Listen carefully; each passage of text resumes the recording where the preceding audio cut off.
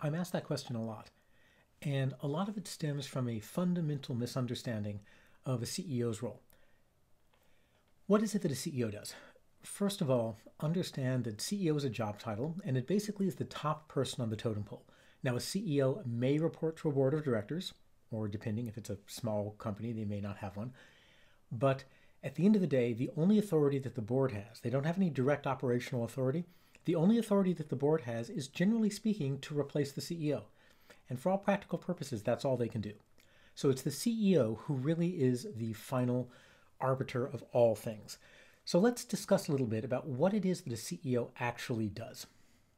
A lot of people confuse what a CEO can do with what a CEO actually does and with what a CEO needs to do to be to, in order to be a CEO. So, for example, a CEO is responsible for everything. At the end of the day, everything that happens in a company is the CEO's responsibility. That's one of the reasons that a lot of CEOs say, "Oh, the company did incredibly well. You should pay me trillions and trillions of dollars."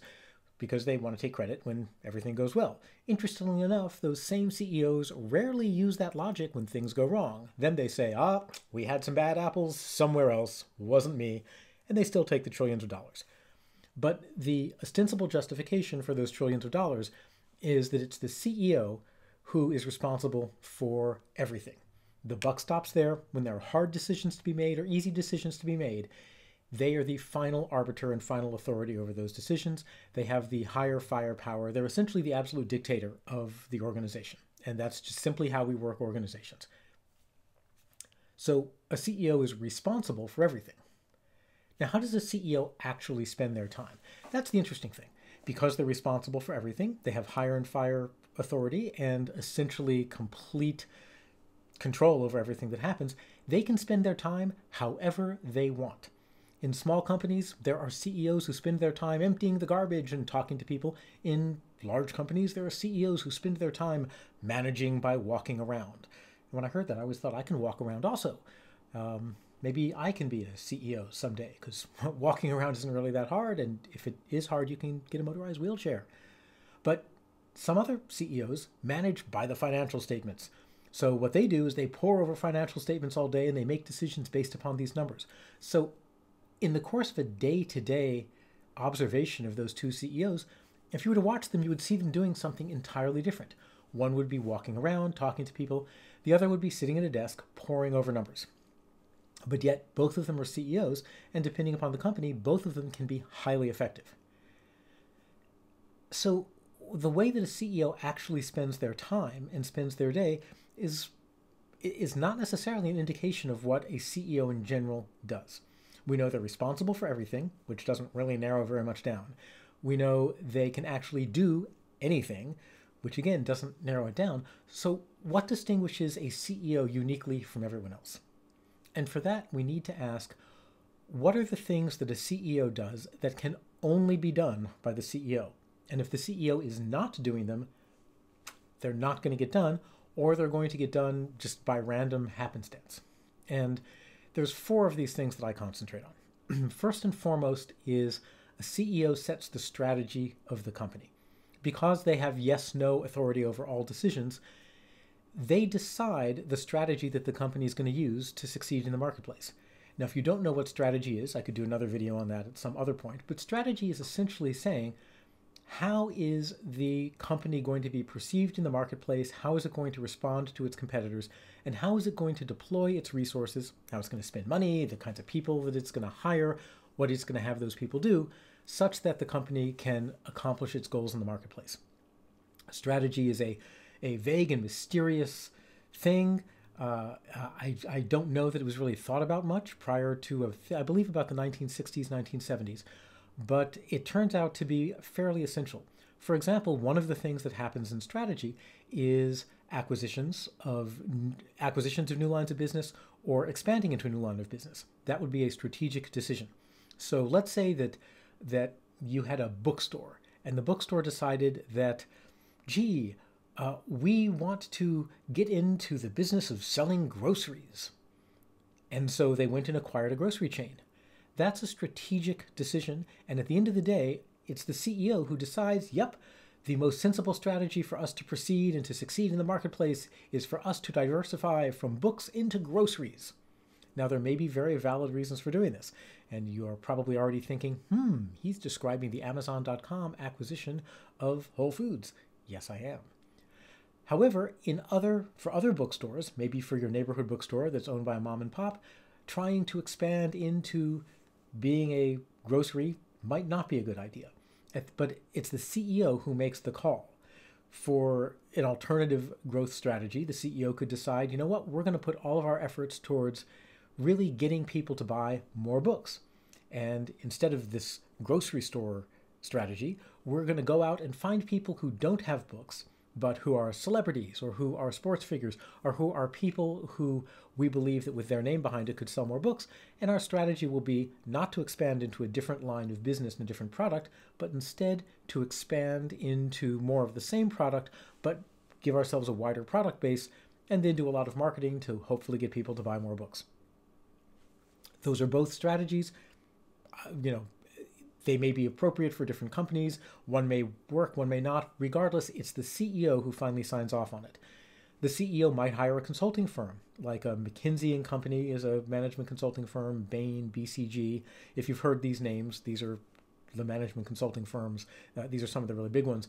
And what they may do is they may come in and on the CEO's behalf, they'll analyze the marketplace, they'll analyze the capabilities of the company, and they will decide, you know what, given the marketplace, given who the competitors are, given the regulatory environment, given the capabilities you have as a company, we think these are the ways that you should succeed in the marketplace and that you should grow and the new products you should put out, so on and so forth.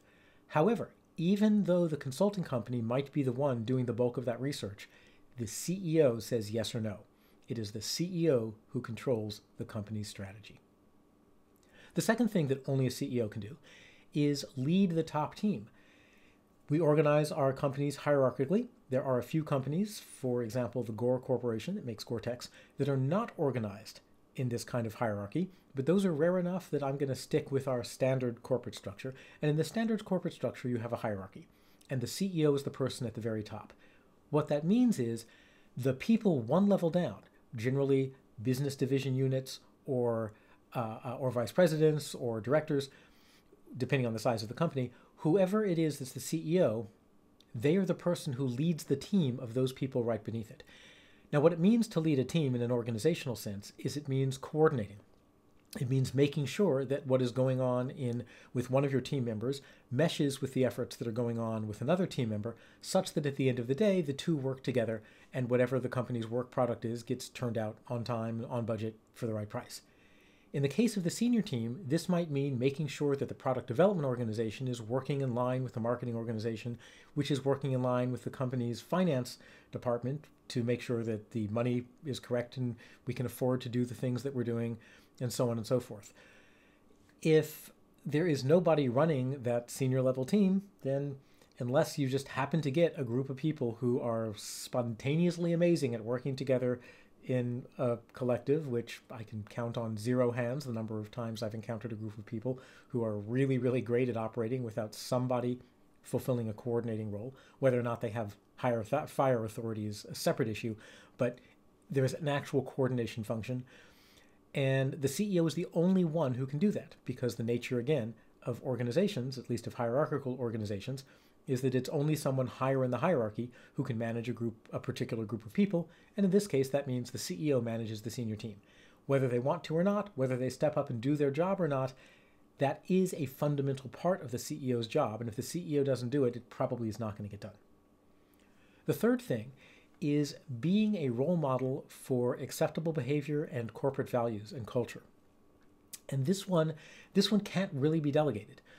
The problem or the phenomenon is that human beings are hierarchical creatures. We look to the people upper, upper. We look to the people higher than us on the hierarchy for cues about how to behave. If they behave in a certain way, we feel free to behave in the same way. If they don't behave in a particular way, and we do behave that way, and they come down and say, no, no, no, not acceptable, then we stop behaving that way. And this seems to be, I, have never read science on it. I'm making the following statement up but this seems to be hardwired into humans as far as I can tell. It seems like as soon as somebody is labeled as being in a position of power or authority, if they have a lot of money, if they're dressed in the right uniform, people automatically look to them for cues about how to behave in times of crisis and also how to behave in times not of crisis. Because the CEO is at the top of the company, at the end of the day, they simply are the model that everyone at the company looks to for direction. If the CEO makes it a practice to to show up and kick people out of the parking spot that's closest to the door and make sure that they have a private lunchroom and that the only people who get to see them are the people at the very top of the company. And then they talk about how they want to have an egalitarian workforce where everybody can walk up and talk to everyone else, but they don't behave that way, then neither does anyone else. Because everyone looks to the CEO and says, that person is not living up to what they say. Why should I? In fact, you can see this not just in companies and in organizations that are business organizations, you can see this in the political arena. One of the questions that a lot of people uh, that a lot of people don't well people ask what difference does it make for example who the leader of a country is? And the answer is if you take a look at it the leader sets the tone. Now that's a fluffy nebulous statement but that doesn't change the fact that it seems to be true. When a leader behaves in certain ways that legitimates those behavior patterns for everyone else. Which means if you're a CEO and you waste money on frivolous things, other people will feel like they too can waste money on frivolous things. If you berate people in meetings and insult them and and trash their ideas, other people will feel like that's acceptable behavior. If on the other hand you make it a point to hear everyone out, people will take the message that that's an important behavior.